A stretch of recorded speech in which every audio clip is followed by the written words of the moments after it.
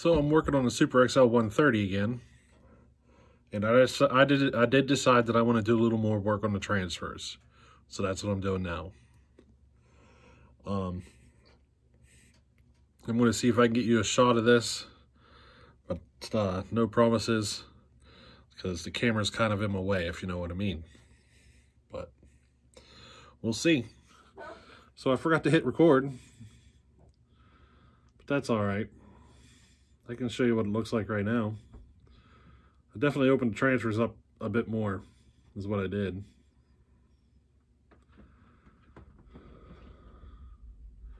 I got a little bit of carving to do here in this one spot. Maybe I can bring you in on that.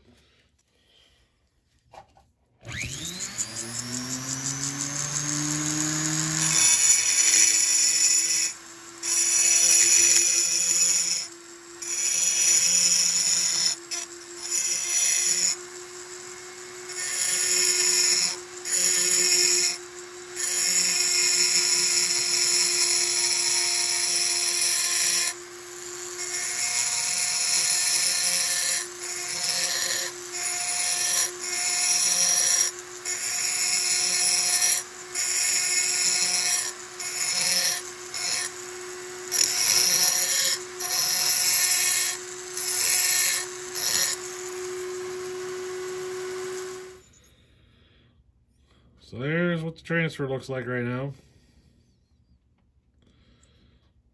There's what the other transfer looks like right now.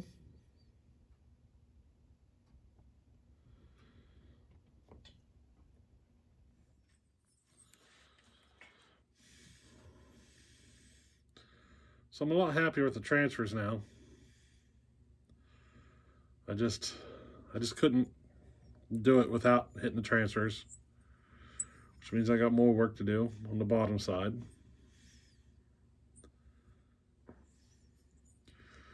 So now it's time for the exhaust. Then after that, the crankcase. So.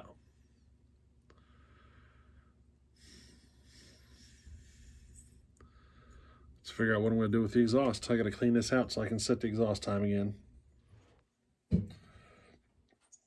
So I'm going to put this on to reset my exhaust timing. But this time, I got a ring in it. I got to make sure I start with the cylinder piston down.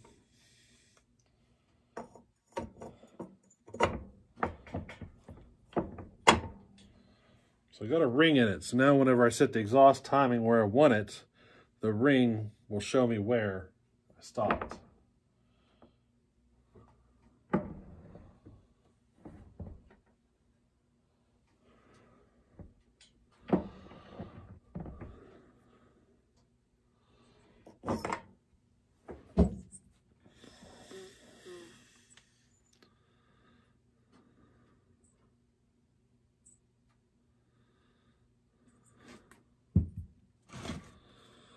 Okay, so I ran the ring up. Can you see it? Okay, so you see where the ring is? See where it's sitting? That's how much I'm taking out, just to give you an idea of how little I'm going to do here. That's the difference between the numbers I'm going to. It isn't much much, much at all, is it? It only takes a little wee bit. And that's actually a decent decent amount.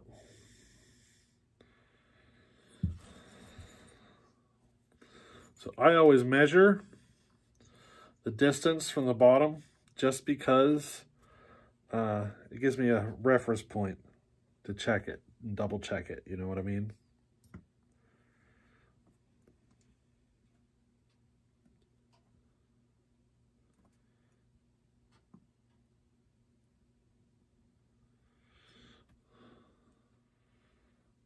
I'm going to lock it.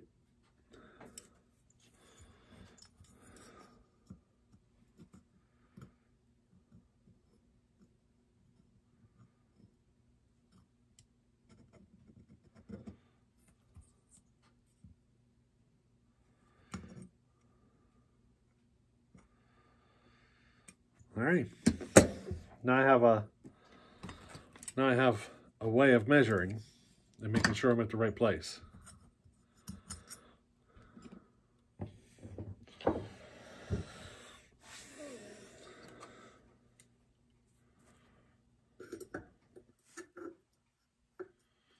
Let me show you what I'm talking about.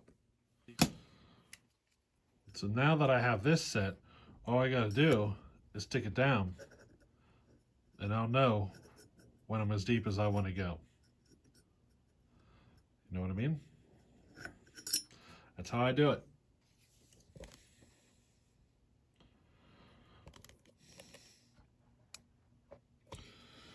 So what do you say we do a little work here?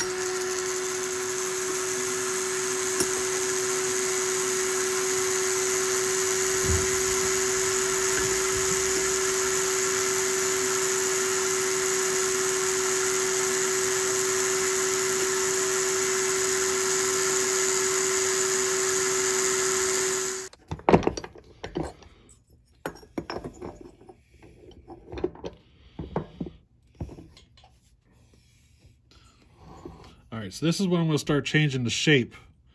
Uh, I'm going to do a little shape changing on the bottom. I'm going to try to do a little bit on the sides, but I don't have much room to do do it. But uh, I'm going to work on doing a little shape change in here.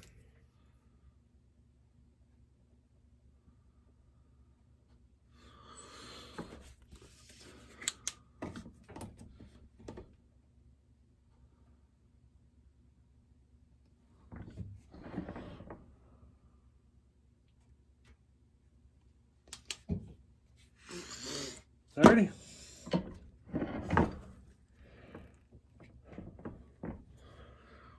I bet you're wondering where I set the uh, timing at, right? I have it sitting at a hundred and one half. Um, and then with the uh,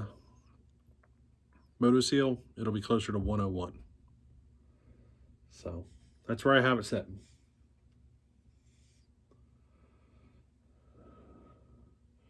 Can't really do much of the width. It's already paper thin between the side of the wall and where the screw would run in. So I'm just going to leave the width alone. But we'll see how she goes. Now I just got to deal with the bottom half. She should have some RPMs and she should pull with some torque. But I got to make sure I get the bottom, the crankcase, matched up with these transfers now that's it for today.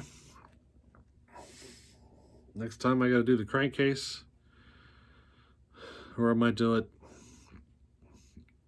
Maybe next time we'll just go right into the install. I mean, it's pretty simple in the crankcase. I just got to match it up with these. Um, I just smear a little grease on there, slap it down on, pull it out, and you can see where it is. Just scribe a line and grind it. I mean, it's pretty simple. Uh, the main thing is when you're grinding the crankcase, you should pull the piston, the crankshaft, and everything. That's what's so involved there. And the grinding itself takes about 15, 20 minutes. So if you don't pull those parts, you end up with metal shavings down in there, getting into the bearings and everything, and you can imagine what will happen. But Maybe next time we'll just go straight into the uh, reassembly. What do you think? And I'll get this done. I think the bottom half is pretty self-explanatory. Uh, but we'll see. We'll see where we go. But I'm pretty happy with the way this is sitting now.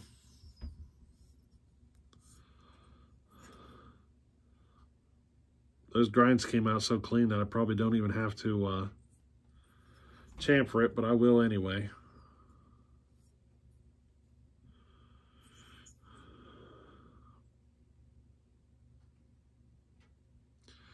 But till next time, later.